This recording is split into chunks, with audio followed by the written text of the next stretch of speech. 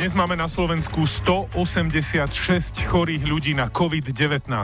Prísne opatrenia, mimoriadný a krízový stav pre zdravotníctvo už na Slovensku platia 10 dní.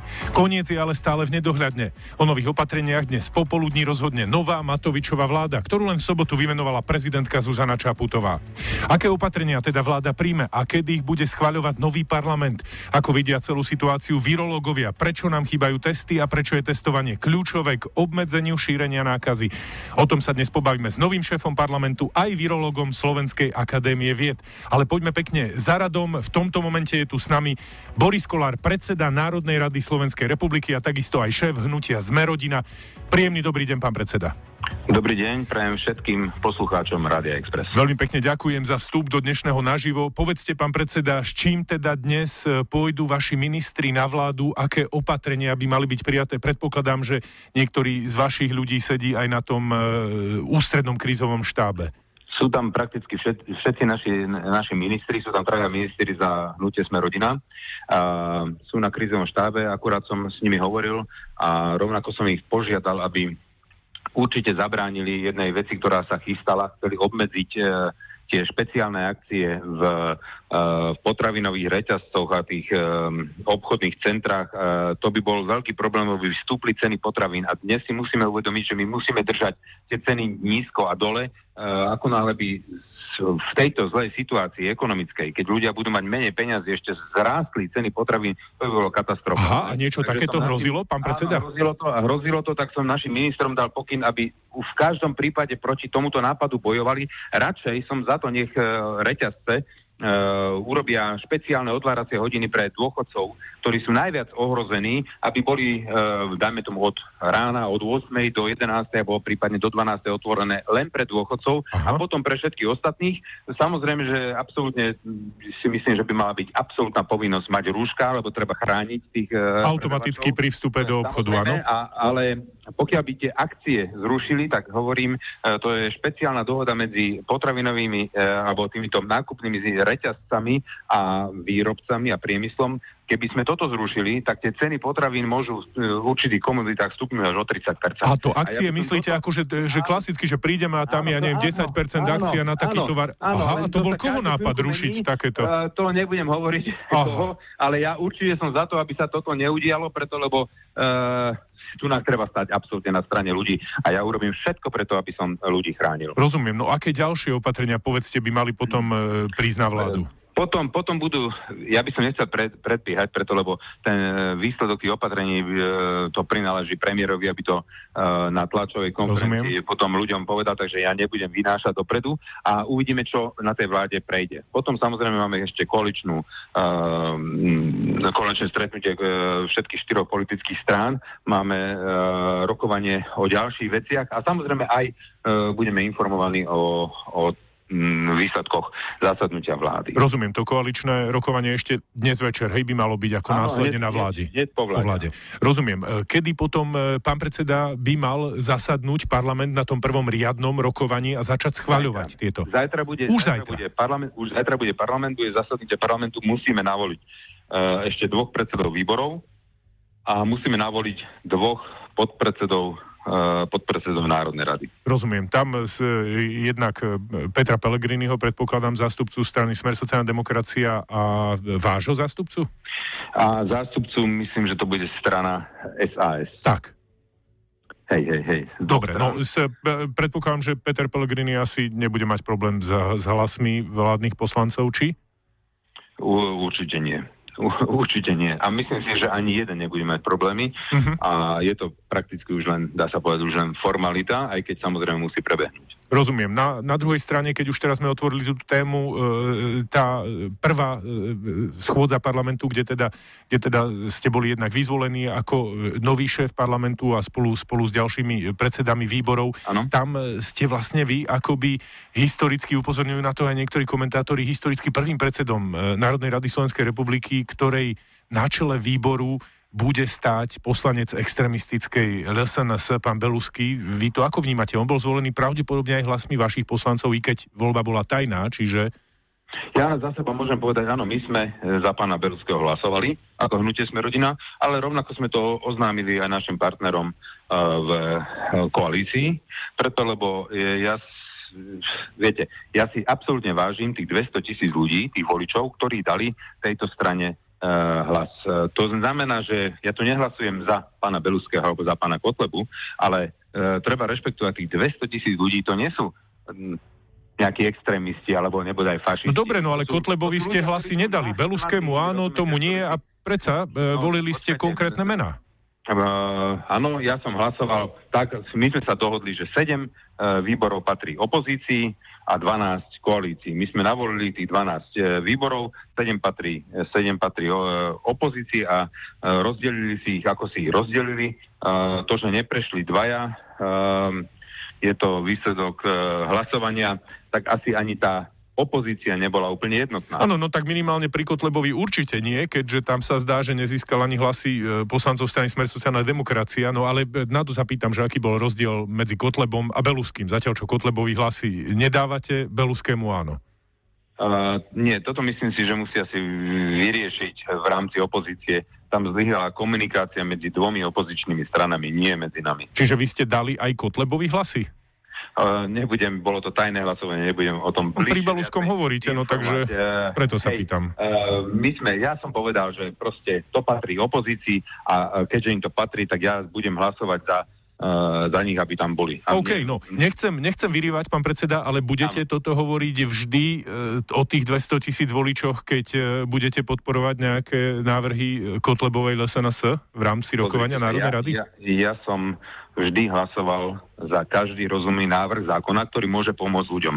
A hovoril som, nebudem pozerať, kto to predkladá, ale čo predkladá. To znamená, že keď pred, predložil smer dobrý návrh zákona, podporil som ho. Uh-huh. Rovnako ako sme v, v počas 4 rokov uh, podporovali aj niektoré zákony, uh, ktoré vyšli z dielne LSNS. Tomu rozumiem, predsa len tá vaša situácia je dnes iná, pán predseda, že vám do toho skáčem, veľmi sa ospravedlňujem, ale ste už vládna áno, strana, poriadku, ste áno, členom koaličnej rady. Teraz je hmm. iná situácia. Samozrejme v, v koaličnej zmluve je aj toto riešené. Cez to všetko sme sa dohodli, že e, budeme sa vždy ku každej schôdze stretávať a povieme si, e, keď vybereme nejaký rozumný návrh zákona z dielne opozície, ktorá, je, ktorá nebude mať dosah alebo dopad na e, verejné financie, že by to, lebo však tam môžu dať kľudne, že chceme 16. 17. Áno, áno, veď prá, samozrejme.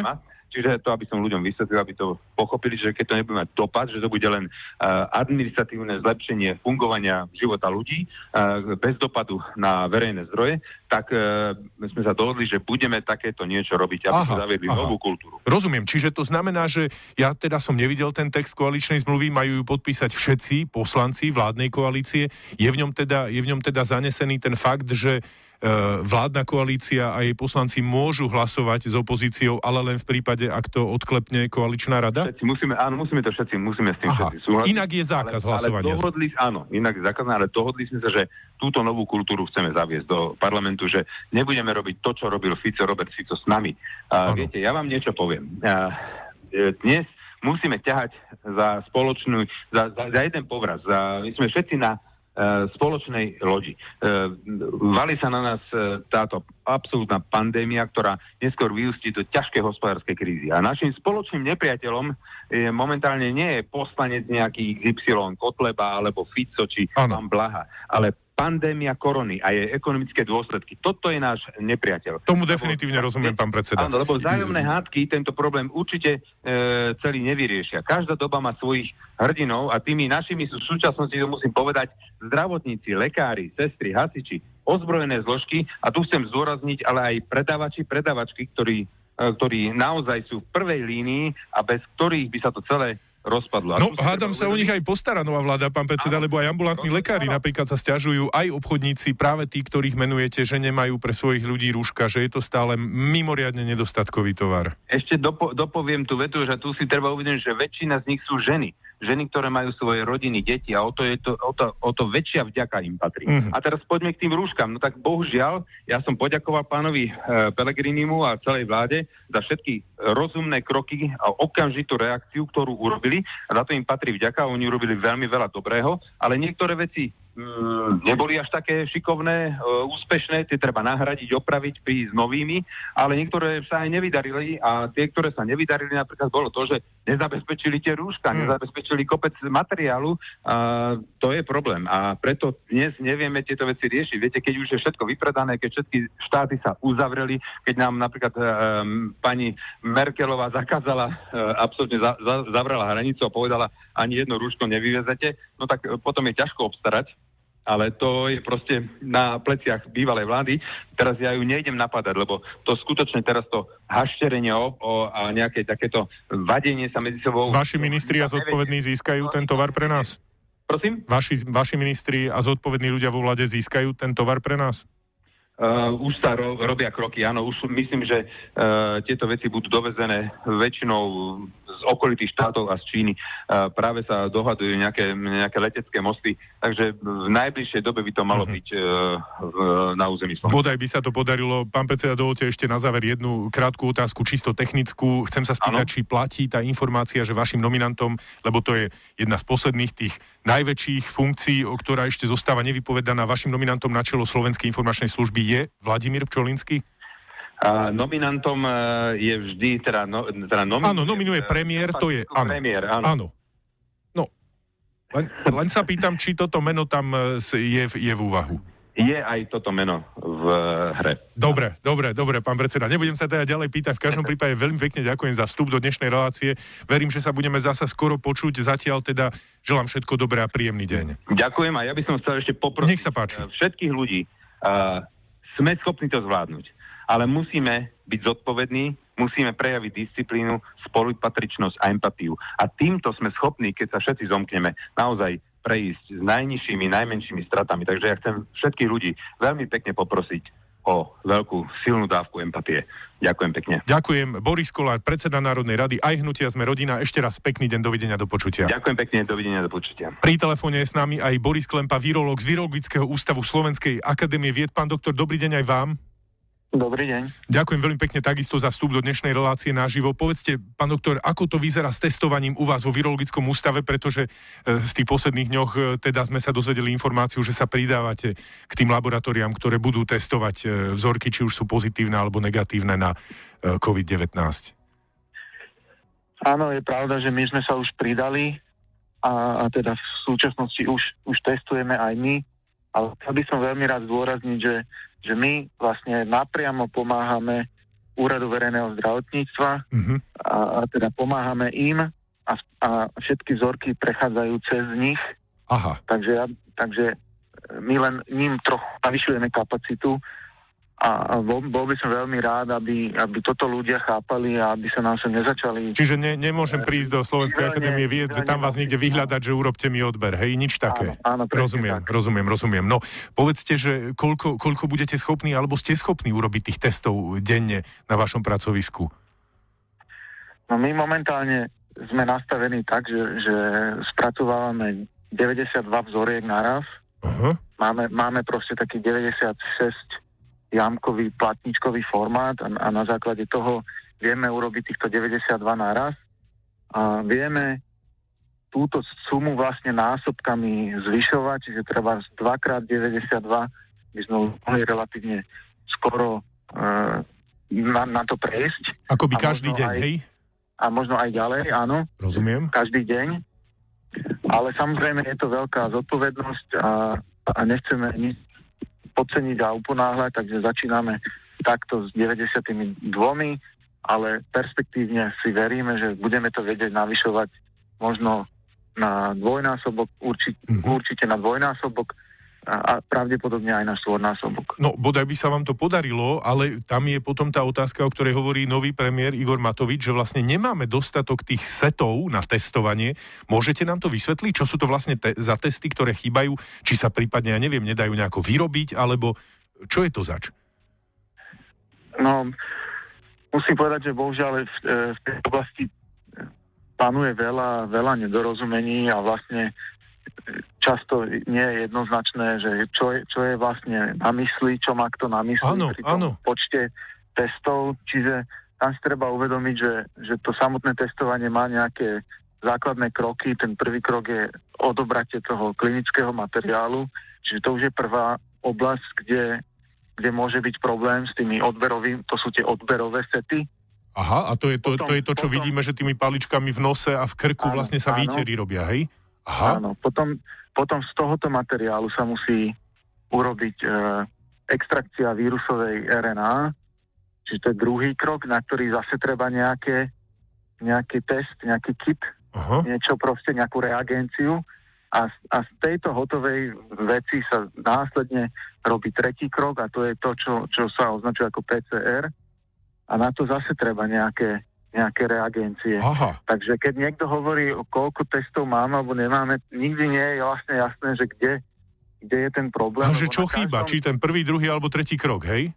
Áno, čiže Aha. na každom z týchto krokov potenciálne, teoreticky môže byť problém e, s dodávkami tých, tých potrebných reagencií a, a je to teraz o tom, aby v každom tomto kroku sa, sa tá situácia vyjasnila, aby bolo toho materiálu dostatok. Ale pres, ja vám žiadne konkrétne čísla neviem povedať, ja sa vám len snažím vysvetliť tú situáciu. Tomu absolútne rozumiem, pán doktor. Aby som o tomto e, rozprával. Samozrejme, no tak na to sú tu, na to sú tu ľudia, ktorí to majú na starosti. E, aktuálne nová vláda Igora Matoviča so všetkým, s celým tým aparátom, aby nakupovali a e, teda to, čo vlastne je dôležité, to, čo potrebovali. Tá, tá moja podotázka, či sa niektoré z tých súčastí toho nedajú vyrobiť akoby v laboratórnych alebo nejakých našich podmienkach? Určite sa niektoré veci dajú urobiť. Napríklad tie odberové sety sa pravdepodobne budú musieť robiť aj u nás, ak by bol problém. Uh-huh. Niektoré z ďalších reagencií e, možno tiež, ale bohužiaľ vyzerá to tak, že úplne všetky komponenty si samostatne vyrobiť nevieme. Tak a budú, budú teda musieť sa snažiť ich obstarať. No toto budeme samozrejme sledovať, celý ten proces toho obstarávania a potom sa pýtať aj vás, že či už toho je dostatok e, v tej, v tej, v tej súvislosti. Uh, Ešte poviem, povedzte, nech sa páči. Doteraz, že my sme si doteraz všetky tie reagencie vlastne zabezpečovali z vlast, po vlastnej línii Aha. naše, naše bežné spôsoby, ako, tieto reag- keď, ako keď tieto reagencie používame pre náš výskum. Rozumiem. Takže e, my máme na, na určitý počet e, testov tieto reagencie, ale tiež pri tej perspektíve a snahe čo najviac zvýšiť to testovanie, tak samozrejme aj my budeme potrebovať uh, ďalšie dodávky. Viac toho.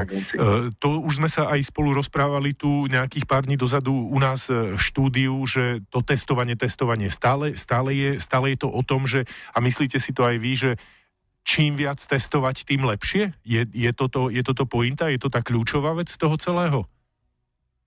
Tak takto zjednodušene sa to určite dá povedať, že čím viac testovať, tým, tým lepšie, o tom, o tom nebude nikto pochybovať, ale samozrejme musíme byť aj pragmatickí a, a musíme reálne zvážiť, že aké sú, aké sú reálne možnosti a, a ako to rozumne vlastne ur, určiť nejakú, nejaký kľúč, podľa mm-hmm. ktorého mm-hmm. Sa, sa, sa testovať bude, lebo úplne bez, bez hlavo testovať si proste nemôže dovoliť nikto a a musíme byť pragmatickí a, a riešiť to teda s chladnou hlavou. Rozumiem. No, vám sa podarilo izolovať aj taký ten slovenský vírus SARS-2.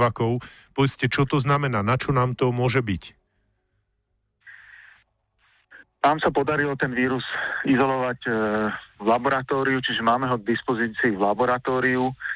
E, rád by som zdôraznil, že to nie je niečo úplne prevratné. E, veľa vo viacerých krajinách, tak isto to, e, sa to už urobilo. My sme mhm, si proste mhm. považovali za povinnosť ako, ako virológovia slovenskí, že, že sa pokúsime tiež o takéto izoláty. Jasné. Aj, aj sa nám to teda podarilo. E, zdá sa, že t- izolovať tieto vírusy je pomerne e, ľahké, pretože je naozaj vysoko infekčný. Aha, čiže to je vlastne negatívum, že je ľahko izolovateľný, hej? Vyzerá to tak, že to mm-hmm. vlastne koreluje s tým, že mm-hmm. je tak, e, tak vysoko infekčný. Rozumiem, rozumiem. No a, môže... a, a čo to znamená? Ano. Čo to znamená? No, e, zistil som, že vlastne taká základná vec, ako je izolácia vírusu pre nás, virológov, je naozaj veľmi ťažko vysvetliteľné verejnosti, že čo to reálne znamená. Už som to skúšal tak prirovnať, že to je ako keby sme že sa nám podarilo odchytiť nejaké nové divé zviera a teraz ho máme možnosť sledovať v zajatí a, a študovať ho, ako, uh-huh. sa, ako sa správa. čiže niečo podobné je aj toto. Ten vírus, ktorý je v tých hrdlách nakazených ľudí, nám sa podarilo dostať v úvodzovkách do zajatia, čiže do laboratória. To sa nám už uh, on úspešne množí a vieme, vieme ho študovať ďalej. Ale, ale rozhodne tiež by som nechcel vyvolať dojem, že tento krok je nejaký zásadný a že počas tejto epidémie e, nám nejakým spôsobom pomôže. To nie na to štúdium toho vírusu to bude asi musieť počkať až, až na tie e, mierové časy. Rozumiem, rozumiem. Pán doktor, mám ešte dve otázky pre vás, aspoň, aspoň stručne by som vás poprosil, ak je to vôbec možné. Tá prvá je taká, že celá tá situácia je aj e, vynikajúcou živnou pôdou pre všelijaké hoaxy alebo nezmysly. E, vy ako vedec to určite sledujete. Je, je tu niečo, čo vás vyrušuje akože veľmi, veľmi? Áno, musím sa priznať, že ma veľmi vyrušujú tie, tie správy o tom, že, že e, je to vírus vytvorený umelo. Mm-hmm. A to považujem za veľmi nešťastné a nebezpečné, pretože my sme naozaj nie sme v situácii, aby sme, aby sme sa takýmito vecami zaoberali a, a mali by sme sa všetci spoločne snažiť o, o spomalenie šírenia tohoto vírusu a šírenie takýchto konšpirácií tomu rozhodne v žiadnom prípade nepomáha. Čiže je to čistá konšpiračná teória, nie je pravda? Ja ako vedec sa samozrejme opieram všetkým o, o vedecké fakty, o, o, o zistenia, o publikácie renomovaných autorov, o, v renomovaných časopisoch. A tí sa už opakovane, tie najväčšie mozgy virologické, opakovane vyjadrili, že nie je jediný dôvod si myslieť, že tento vírus bol umelo vytvorený. A, a, a ja nemám najmenšiu, najmenší dôvod tieto závery týchto obrovských osobností spochybňovať. Tak to je absolútne jednoznačná reakcia. No a už len posledná otázka. Povedzte také zamyslenie, že čo bude vlastne ďalej o rok, o dva? Ten e, vírus SARS-2 tu pravdepodobne bude stále. Ehm, ako, ako sa s tým naučíme žiť? Ako sme sa zbavili toho SARSu-1? No ten SARS-1 bol predsa len e, ľahšie zvládnutelný, ako sa ukázalo, mm-hmm. pretože tam tí šíriteľom vírusu boli predovšetkým ľudia, ktorí už boli chorí a teda ich izolácia a karanténa všetkých ich kontaktov naozaj zabrala. Tu nám vieme, že ten, tá situácia je, je významne iná a preto, preto je to také ťažké, uh-huh. pretože veľa ľudí, ktorí subjektívne vôbec sa necítia chorí, napriek tomu sú schopní tento vírus ďalej rozširovať a to je ten moment, ktorý tak komplikuje situáciu. Takže v dnešnej dobe už reálne musíme počítať aj s tým, že ten vírus tu ako keby zostane, uh-huh. čiže sa nepodarí ho zastaviť tak ako, ako SARS jednotku a že sa z neho stane niečo ako, ako sezónna záležitosť, ako, chrípka. A v tomto prípade treba zdôrazniť, že práve tento prvýkrát, táto prvá epidémia je, je určite tá, tá naj, najťažšia a najdôležitejšia, ju sa snažiť čo najviac spomaliť a a, a dočkať sa ako keby a, vývoja vakcíny, to je jedna vec. Rozumiem. A druhá vec, že aj prírodzenou cestou vlastne postupne tá, tá imunita kolektívna v, medzi ľuďmi bude tiež hrať úlohu, aby tie ďalšie sezóny už neboli také dramatické ako táto prvá. Rozumiem, rozumiem. No, budeme, budeme to sledovať ďalej. E, pán doktor, určite vás ešte, ešte takto oslovíme dnes. Veľmi pekne ďakujem, že ste vstúpili do našej relácie.